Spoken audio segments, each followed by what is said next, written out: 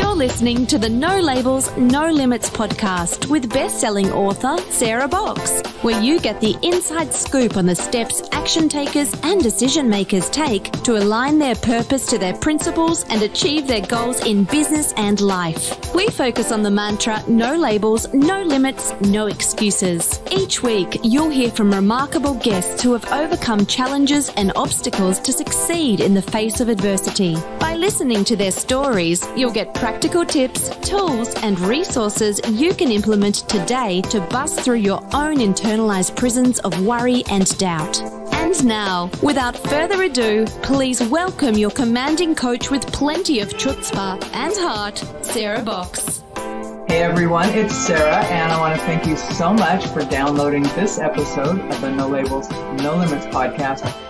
And as you know, it's a podcast all about shedding our limiting labels and beliefs so that we can shine our light into the world.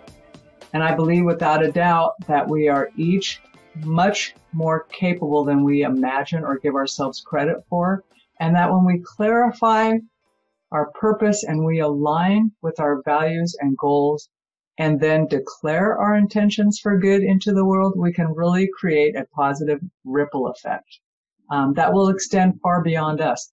So if you are someone who has an undeniable pull to be a light in the world, to leave a legacy for good, um, and you want to join along with us and other brilliant men and women, be sure to connect with us through our website at sarah at sarahboxx.com so that we never lose sight of you. Anyway, let's get on with our um, interview for today.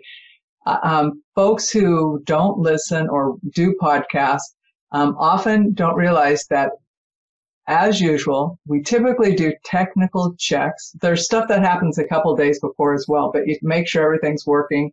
Um, usually it goes off without a hitch. Today was not that day. Um, and we won't go into the details on it, but I will tell you that I've learned something about our guest today by her graciousness, how she shows up, and how she navigates uh, challenges and obstacles with a good heart. So let me tell you a little bit about our guest. Her name's Elizabeth Brunner, and she has been examining our collective, our human collective perceptions of fashion. And this has been a long process for her of learning and unlearning the rules. Um, and this journey has been, continues to be deeply personal for her. And it began when she was a young girl and she would watch her mom sew clothes. I remember that myself, Elizabeth. So um, and it sticks in your head. So it started back then, but she has since gone on and she's launched a company called Stereotype as her way to share a joyful, blended vision of kids' clothing and to advocate for self-expression of all humans, especially the small ones. Um, and she does this by breaking fashion rules, disregarding boundaries we put around what boys and girls should wear, um, encouraging a more playful, creative, expressive sense of self for all of us. And, and don't we all need a little more playful sense of self? I, I certainly do, Elizabeth, um, because um, it's so easy to get too serious about things. So welcome to the podcast. I'm super happy to have you on the show. Thank you. Thank you so much for having me. I'm excited to be here and talk to you. I'm I'm glad to have you here as well. I have thought about watching my daughter raise her kids. And sometimes I'm looking at what they've chosen to wear and I'm thinking, well, isn't, I wonder what was going through their head when they put that particular outfit together, right? And you never know which child's going to be wearing the same piece of clothing. So it's always been interesting. So when I found I had an opportunity to have you as a guest, I was really um, interested and excited about it. Um, but I do like to ask all of our guests a question about whether or not there's something you do every day that keeps you motivated with your life to inspire people through your work. Just if you have a particular habit or practice. I do, yeah, I do have a practice. Um, I spend a lot of time outside. Um, I have, I live in uh, Northern California, so there's a lot of beautiful scenery, lots of trees. Um, I try to ground myself by taking long walks and just observing the outside world so that I don't take myself too seriously. Um, and I, I try to keep my, my vision very simple. You know, I'm doing this for my own kids. So it, it really helps me stay focused in, in all the chaos that happens with starting a business. Um, I just come back to the simple fact that I started this for my kids and I'm committed to it. Wow. So talk about focus and clarity, right? It's either when you feel pulled off track, you can just go, wait a minute, who am I doing this for? And you've got exactly. a physical right in front of you. Exactly. So let's talk a little bit about your journey. You know, you started back watching your mom sew. How did that influence you? And when did you know that you wanted to do fashion? Wow. Uh, you know, it, I started watching my mom sew as a young child, and I would go with her to the fabric store and pick out fabrics, and I would collect all her scraps and would wrap them around my Barbies and make outfits for them. And it really wasn't until many years later that I realized that, oh, I, I really should be in fashion. I was studying interior architecture um, in 2004 and decided that that was not really a place that felt right to me. And I found myself in the fashion department at my college and started spending more time there and things just kind of clicked from there. I was like, oh, this is where I need to be. This is, I kept finding myself looking at the clothes that the students were making and going into the classrooms and just spending a lot of time there. I'm like, well, this is obviously the place I need to be. Um, so that journey uh, was, you know, pretty long just in terms of it wasn't a realization that I had like, oh, I'm going to grow up and be a fashion designer. I was always interested in fashion, but I didn't, um, I didn't see myself being a designer per se of clothing. I just thought I want to be a designer. I want to create. Um, so it was great that uh, I finally came to the conclusion that I found my place in fashion and just have stuck with it since. Did you, you know, you were starting down a particular path in college, right? And you talked about design and you said architecture, right? Mm-hmm. So how far along were you in your path? When, did you finish and do architecture and do that for a while, or did you just like when you said you found more time in the classroom and realized that was where you wanted to be? Start making that shift in college. Yeah, so I was probably a year in to um, architecture. I had taken an internship in London uh, for an interior architecture internship and uh, spent six months in London and really got a good taste of what that world was. And it was very exciting, very exciting to be in London and learn about it. And when I came back and um, re-entered college to study interior architecture, I was probably a year in um, realizing, oh, even though I had these great experiences in London and I and I was excited to come back and continue the journey, it really wasn't where my heart was. And um, you know that that takes a lot of reflection. And I just would remember thinking, okay, if I'm not excited to be sitting in this classroom where I'm studying interior architecture, then I shouldn't be here. Um, so I think for me, it was just really listening to myself um, and following my heart. When you did that, um, were you supported by the other people in your life, or were any of them saying, "Well, wait, wait, wait! I thought you were going to be an architect"? I was supported actually. Um, you know, I feel like you know my twenties were very you know, as they are, you're searching for what you're doing. So, and that's exactly what I did. I mean, I traveled, you know, I, I lived overseas, you know, I, I took different courses, I took night classes, you know, I, I really dabbled in a lot of things before I found my true calling in design. And, um, you know, it's kind of funny to think back uh, about that journey and to realize how far I've come and the choices that I've made have really been um, when I've taken the time to be self reflective and really listen to what I want.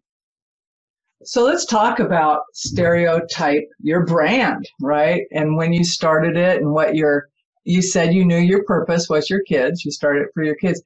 But let's talk a little bit more about it, about the concept, what you want to do with it so that our audience can kind of hear um, that bigger vision. Yeah. So I started the idea for stereotype in 2018. So I've been at it for a few years now. And it really came when I was watching my boy girl twins um, share clothing. Um, at a very young age, about four years old, they started to dress from each other's wardrobes. And I realized that they were finding a lot of joy in the clothing that they were selecting, even though it wasn't specifically made for their gender. Um, and so that was a great, you know, um, sort of way to come up with an idea for the brand. At first, I was just like, oh, it's it's great. My son, you know, he really likes to wear dresses and skirts and like sparkle. My daughter loves dinosaurs and black and, you know, just stepping out of the way and letting them express themselves and choose the things that they felt good in. Um, I could see on their face how empowered and how happy that they felt. And so that became um, a motivation in the beginning to uh, think about the brand. I didn't realize I was going to start a brand. I certainly wasn't planning on starting a children's clothing brand, but the more I saw my children and how happy they were by being empowered with what they were choosing, the more I realized, oh, I'm I'm a designer. I need to be designing this line, and I'm really surprised it doesn't exist. Why isn't there an, a line that exists for uh, boys and girls It's not gender neutral, but really a celebration of both genders. Um, so that's really where I started. And, you know, it's been quite a journey for, for three plus years, you know, especially seeing all the changes socially that have been happening the past, you know, year, two years ago. So, you know, I feel really excited that I'm on this positive sea change that needs to happen culturally. Um, so yeah, it's, it's been a really fun journey.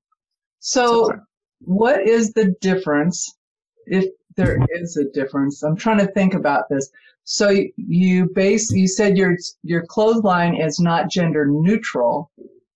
So for those of us who are going okay i don't get it. So what would be different about your clothesline versus me just going to a store and buying a bunch of you know you're lucky you have twins right so you can go here you go you guys pick but right. um, right. So how do I think about this differently? Because it could be that you would have your own like stereotype section in a major store, right? So people can boys, girls, or come to the all inclusive.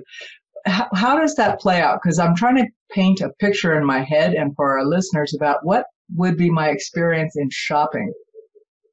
So it's a great question. You know, um, so I use the term blended fashion to describe my clothing, and it's really a celebration of both boy and girls wear. So it's not gender neutral. I'm not trying to tone anything down.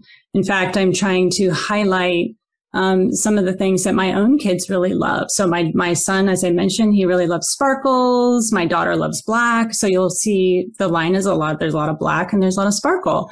Um, so I really just took elements of the clothing that they really love to wear and pulled out those details and started designing the clothing that way. Um, and anyone really can get started with blended fashion. You don't have to buy my clothes in particular. You can just, you know, like take your child shopping and let them pick out things without interfering. So without giving your input, you know, take them to Target, shop both sections, boy and girl. And, or, you know, if you have a, a cousin or friend that has some clothes that you know, they're ready to pass over to you, then take them, no matter if they're for a boy or a girl, and just see if your child likes them. Um, and you know, give them the freedom to choose. So that's how I I describe it. How fun! What have been your um, most popular things that you've designed? So we just we haven't launched yet. We're launching August 8th. So I couldn't tell you uh, the popular items um, for sale, but I can tell you the items that I've made. I made a uh, a modern sweatshirt, which is basically a, it's a blazer. It's made out of sweatshirt material. Um, it's very cozy, very soft. It's great playwear. So I updated some items in my collection um, and just made them more uh, modern. And I also created a um, a skirt that is also shorts. So it's a skirt. It's called an athletic skirt, and it has a denim overlay that's pleated with athletic shorts underneath. So I've created some pretty unique items that um, look great on both genders, and I'm they look great on my son, they look great on my daughter. So it's really exciting to see both of them use the clothes, play in the clothes, and have fun, and feel like they're empowered and they're being true to themselves. Love skirts. They are like the most practical, cute things to have, right? Long skirts, short skirts, but they're so useful and fun. So I, that just is so great to hear. Um, what have been your kids' reactions to know that they're the kind of the spark of all of this and where you're taking it? Yeah, so they're just, they're so excited. They're so aware that they're the inspiration. And I've really brought them along the journey from the very beginning, obviously being the inspiration and, um, you know, looking at the clothing that they love to wear naturally, but just talking to them about oh, what is it that you like about this? Why do you like this shirt or these pants or this skirt? And really just involving them in the creative process um, they're you know they're great kids and they um, they're very open hearted and they're just so excited that they get to be the brand ambassadors and talk about it. You know, my my son Jacob said, you know, mommy, does this mean everyone can wear a skirt now once this clothing line? Is that what that means? So he's very aware of the impact that um, stereotype will have um, on himself, but also on others. So they're both very open hearted about this isn't just about us, it's about all, all kids. And so that's been such a wonderful um, experience. And it's certainly enriched our bond and has deepened it. And, you know, there's so much more to do together. So I'm very excited about that. So have you had challenges along the way in doing this? you know, going from concept to, I mean, you're really right around one week almost around the corner from your launch on the date that we're recording this. And when it goes live, which will be soon, it'll be before the launch, um, even closer. So, like getting to this point, what has been one or two of your kind of your biggest challenges? Well, COVID's obviously been a huge challenge, um, especially, you know, trying to get things made, trying to get things produced, trying to find the right fabrics. It's all been, uh, you know, a big puzzle, really just trying to manage the changes that were happening daily. And then also manage my own expectations, my own mental health, because, you know, when you're starting a business, it certainly requires um, a certain level of um, confidence, but also, you know, you have to be able to just be sort of fluid with your expectations. And especially during COVID, you know, it really challenged me in terms of, okay, these dates are going to just have to be pushed back. Um, but I realized too that, you know, things are going to happen when they're meant to. So in a way, I gave myself a lot of permission to just relax because things were going to come together when they were right. And I knew that in my, my heart. And so even though that was a challenge, and I certainly had my moments where I'm like, I, I don't know. I'm not sure if this is going to happen when I wanted to. Um, I also gave myself some grace to just keep going because it really was an antidote for me for all the stress and worry around those first, you know, six months of not knowing what's going on. So it's really helped me through um, that time period and just stay focused. Um, so that that was definitely uh, has been a big challenge. And but since then, I've just learned like, okay, I just need to be flexible, and um, you know, everybody's trying to do this for me, and and we're going to get there eventually. So it's interesting the language that you used, and it makes me wonder if you have um, a deep spiritual connection or something because you have a lot of trust and faith that things are working for you people are working alongside you. Is that an accurate statement? That's completely accurate. Um, I, you know, when I had the idea to do stereotype, I actually had to do a lot of deep dive um, reflection on my part because I really had to understand what my own biases and my own stereotypes were and understand where they came from and if they were still valuable to me and if they still resonated with me. And that, that actually took a lot of uh, spiritual work um, to really look at that because it can bring up a lot of anger, sadness, and fear. And it did. It did all of those things. And, but I realized that if I'm doing this for my kids, and I want my son to be able to go out into the world and wear whatever he wants, and my daughter to go out to the world and wear whatever they want and not be judged for it, then I need to be okay with that inside. And I need to figure out whatever it is that's causing me to be worried or fearful for them that um, it's really not them, it's me. And so I need to do that work. And so it really took, you know, a while for me to get my head around, okay, I need to do this business. It's not just about my own kids. It's about all kids. And if I'm going to do it, I'm going to do it and I'm going to give it my all, no matter what the ups and downs were. And that takes faith, a lot of faith. And so it's an accurate statement to say I have strong faith. Um, I believe that things are meant to happen when they're meant to happen. And that actually is kind of great. I don't have control. Um, and I don't need to. I just need to keep going.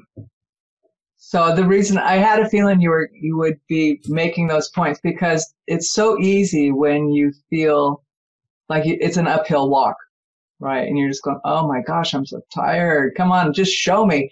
But you keep going.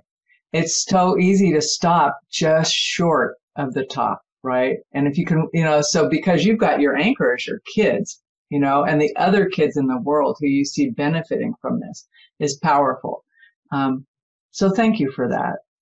You know, I think mm-hmm. that's um, having faith and and doing your own work, so you're not um, putting on others, right? Projecting it on or whatever else is.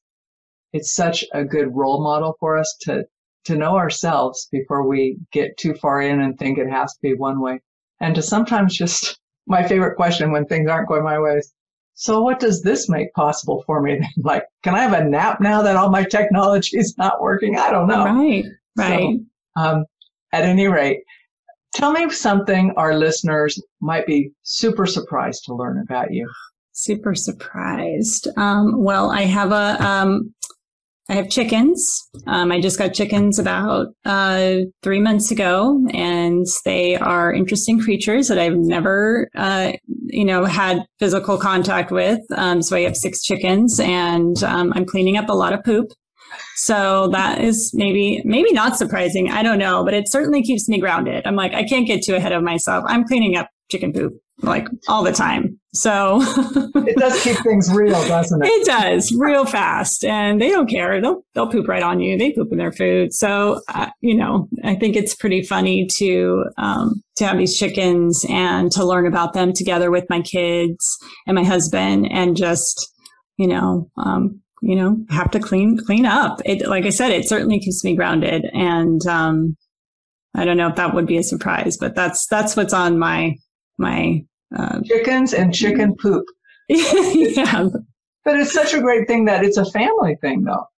It is. It is. And I really, um, we really tried to make a lot of things around our home family oriented. I also have a compost bin with 2000 worms. That might also be very interesting and surprising, um, to hear from, from me. But, um, I tried to be very conscious. Um, my clothing line is actually very eco conscious as well. The, the fabric from the main um, pieces are all made of recycled yarn. Um, so I feel like it, things are very full circle here at my home, and I create that through my business as well to be very conscious. Where do you source your um, recycled yarn? Well, I re- you, I source them in um, different locations, but this particular one is sourced in LA. So I try to everything is made locally or sourced locally within the United States. So everything is made in San Francisco. Um, it's designed in San Francisco, so it's a very um, San Francisco brand. Very local brand to you. Yes, yeah. and it is very meaningful for me to do that. I really wanted to support local businesses and develop um, relationships with them so that we could continue and to grow together. And that's that's been working so far, and I'm very excited about continuing to do that. Community. Right? Exactly. Community. I know, and the great thing about like at least in my opinion, like being web based is that you can find people quickly and reach out to them, even if they're in your own backyard that you might not have known otherwise. So, um, so Elizabeth, as we're wrapping this up, tell me some more about um, kind of what you hope. If I were asked having this interview with you a year from now, okay, so uh, you've launched a year, eh, that's old. Oh yeah, was I nervous? No, I wasn't nervous.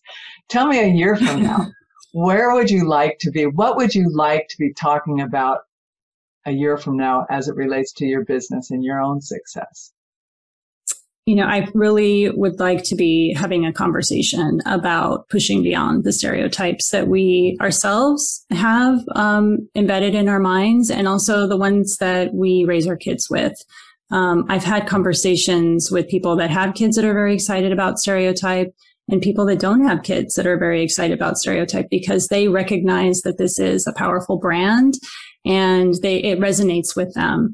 And so I, I, hope it continues to resonate with people and and we can have conversations about moving beyond the stereotypes and unlearning some things that are damaging for us and our children and raising our children so um, I also hope to do some collaborations. I think that would be really fun. Um, I'd love to do shoes, um, backpacks. So I have so many ideas and, and so many things that are in the works right now. And this is the first capsule collection. There's actually a, a second one coming.